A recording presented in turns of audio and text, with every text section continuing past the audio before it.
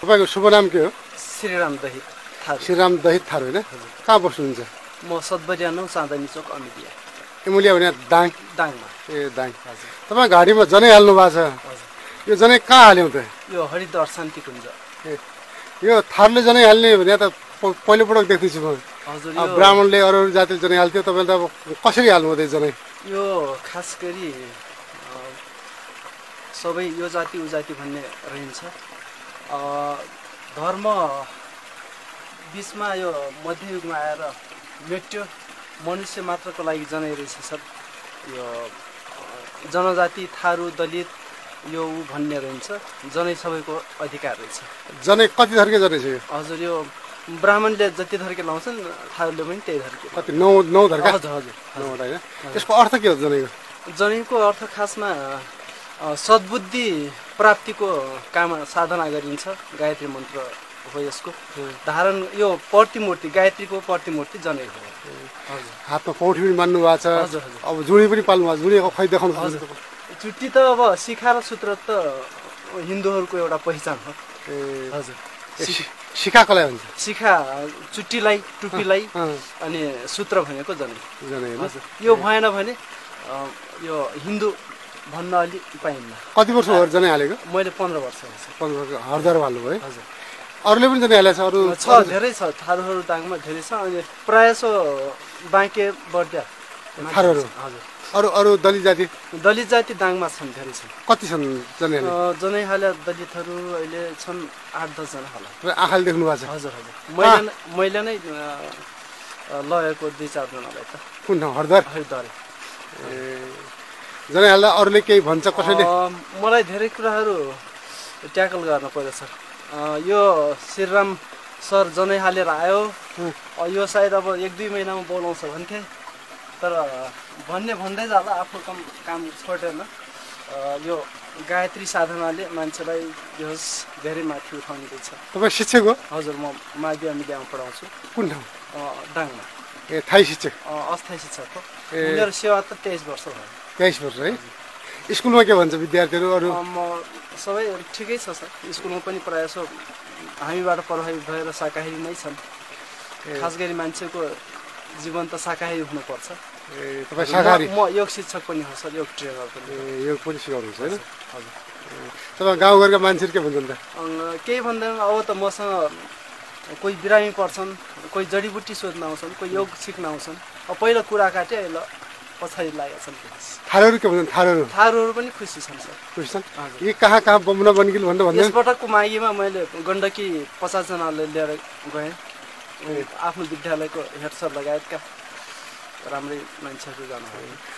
अहिले तपाईँ यो अँ, जनै हाले बाहुनलाई के भन्नुहुन्छ? जनैहाल्ने बाहुन बाहुनहरू अब तपाईँहरू खासमा यो ब्रह्मविद्या बाँट्न अलिक कन्जुसाइ गर्नुभयो। अब यसलाई अब खुल्ला गर्नुपर्छ। भनेर भन्छु। उहाँहरू उहाँहरूले पनि अब आफ्नो पुर्खाहरूले जे सिकाउनु भयो त्यही गर्ने हो। थाहा थिएन बिचराहरूले के गर्नु। जस्तै जनै हाल्छ कुनै मान्छे तर उसले मांसाहार गर्छ रन्डीबाजी गर्छ त्यहाँबाट पछि अब गर्छ त्यस्तोलाई के अब खासमा धर्म नष्ट त्यहीँबाट भयो सर। हामीले जैसा अन्न वैसा रहे मन जैसा कर्म वैसा मिले फल। भन्ने आह्वानलाई हामी चरितार्थ गर्नुपर्छ सर। खास गरी। ए यी कुरा छ अन्तमा के भन्नु चाहनुहुन्छ? हिन्दू धर्म सम्बन्धी तपाईँको यो धारण सम्बन्धी। हामी अहिले राजनीतिमा पनि धर्मलाई नबुझेर धर्मनिरपेक्ष यस्तो कुरा आइरहेछ। यो खासमा धर्म नष्ट भएकै कारणले हो। खासमा यो हिन्दू धर्मले राष्ट्रियता जोगाउँछ भन्ने लाग्छ मलाई त। अब धर्म मानवको एउटा मुख्य सूत्र हो धर्म भनेको। धर्म सक्यो त केही छैन। हजुर।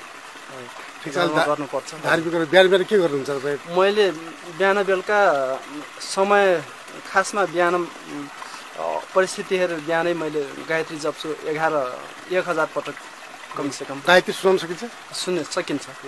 ओम भूर्भुव स्वः तत्सवितुर्वरेण्यं भर्गो देवस्य धीमहि धियो यो नः प्रचोदयात्। यो यसले के भन्छ भने गायत्री मन्त्रको अर्थ खासमा हे गायत्री माता हामीलाई सामी मानव मात्रलाई सद्बुद्धि अ, मा एउटा प्रेरित हुने अ, मार्ग निर्देश गर्नुहोस् भन्न खोजे हो खासमा। अब सद्बुद्धि भएपछि त सबै पुग्यो हेर्नुहोस् अल इज एनफ हजुर। तपाईँले जनै हाल्नुभयो तपाईँ छोराछोरीलाई पनि के गर्नुहुन्छ? मेरो छोराले पनि हालेको छ सर। हालेछ हजुर। ए अब विवाह गर्दा पनि अब स्वा- स्वास्नीले पनि श्रीमतीले पनि हालिछन्। महिलाले जनै हाले? हजुर। महिला कहाँ गएर जनै हाले महिलाले? त्यही हरिद्वारमै हो सर। महिलाले जनै हाले त। मैले त देखाएको छैन त्यो। हजुर। के कसले हाल्यो महिलाले जनै अ, हाल्न मिल्दो रहेछ? मिल्दो रहेछ। मानव मात्र एक समान जाति लिङ्ग एक समान सबै एउ- एउटै हो नि सर। हरिद्वार कुन ठाउँमा हाल्यो? यो विश्व गायत्री परिवार भन्ने एउटा गायत्री परिवारको अल वर्ल्ड अ, गायत्री परिवार भन्ने एउटा संस्था छ। जहाँ एकाडेमिक रूपमा पढाइ पनि हुन्छ। हजुर। आध्यात्मिक सम्बन्धी पिएचडी लेभलको पढाइ हुन्छ। योग सम्बन्धी विश्वभरिका त्यहाँ मान्छेहरू पढ्न आउँछन्। पश्चिमा मुलुकहरू पनि मुलुकका नागरिकहरू त्यहाँ पढ्न आउँछन्। अब त्यहाँ राम्रो छ सर।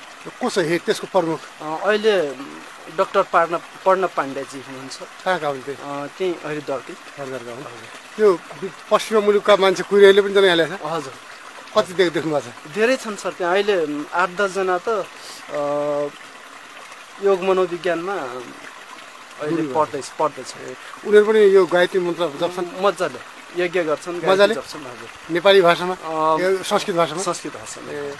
गायत्री मन्त्र तपाईँ घरका छोराले श्रीमतीले पनि जप्छन् जप्छन् जप्छन्? जप्छन्। उनले पनि त्यही होइन? हजुर। फेरि एकचोटि गायत्री मन्त्र राम्रोसँग सुनाएर त्यसको बारेमा भन्नु भन्नुहोस् हजुर। गायत्री मन्त्र खास गरी चौबिसवटा अक्षरले बन्या हुन्छ। अनि यो तिन खण्डमा विभाजित हुन्छ। गायत्री मन्त्र राम्रोसँग जपेपछि गायत्री मन्त्र संसारको संसारमा सबभन्दा ठुलो महामन् मन्त्र हो। यसलाई त्यसैले गायत्री महामन्त्र भनिन्छ। गायत्री मन्त्र शुद्ध आचरण शुद्ध खानपान आहार विहार ले गर्नुभयो भने अ, सबै चिज पूर्ण हुन्छ तपाईँ तपाईँलाई। हजुर। गायत्री मन्त्रको है हजुर गायत्री मन्त्र फेरि फरक फरक छ भन्नु फरक फरक छैन। गायत्री मन्त्र एउटै हुन्छ। गायत्री महामन्त्र। अब त्यो बिचमा मध्ययुगमा आएर मान्छेले आफ्नो आफ्नो यो सबै बाँडेपछि त मान्छेलाई ठकठाक पार्न सकिएन।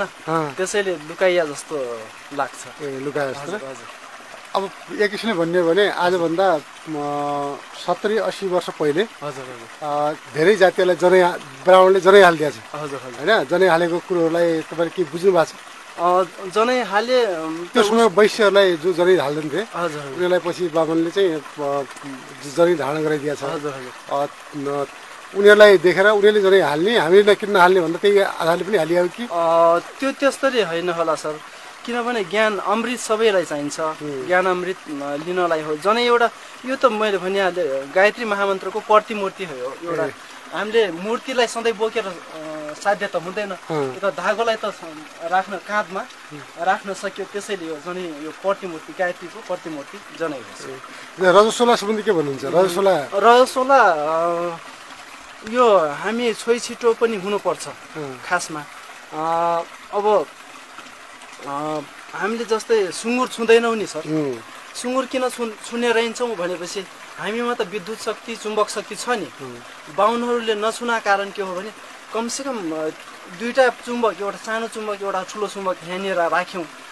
यसो ठुलो चुम्बक हल्लायौँ भने सानो चुम्बक यतैतिर टाँसिन आउँछ नि त्यसैले हामीभन्दा कम शक्तिशाली सुँगुर हुन्छ। सुँगुरलाई छोइयो भने उसको शक्ति हामीमा सम्प्रेषण हुन्छ। यता सल्किन्छ भनेर नखाएको नछोया रहेछ।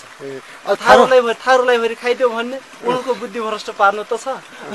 थारो त सुँगुर काटेन भने त तिहारै मनाएछ मान्दैन के भन्नु त्यो त अब त्यही त चेतनाको स्तर त हो नि। हामीले सुँगुर खाएरै हाम्रो संस्कार हो परम्परा हो भन्दै गयो जाँड खायो त्यसै मस्त रह्यो के गर्ने अब जीवन? त्यस्तो।